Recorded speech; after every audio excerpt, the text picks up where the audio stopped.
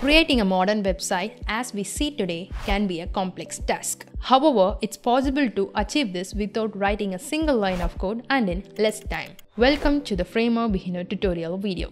I'm Jemsee and this is a video series. You can find the entire series in the YouTube playlist which I have provided in the description below.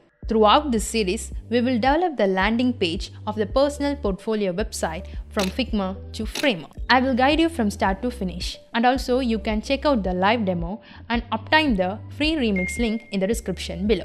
Framer is a visual tool that allows you to develop the website providing an experience similar to working in Figma. In this tutorial, I will guide you through developing a website from scratch in Framer, instilling confidence in your ability to create a website.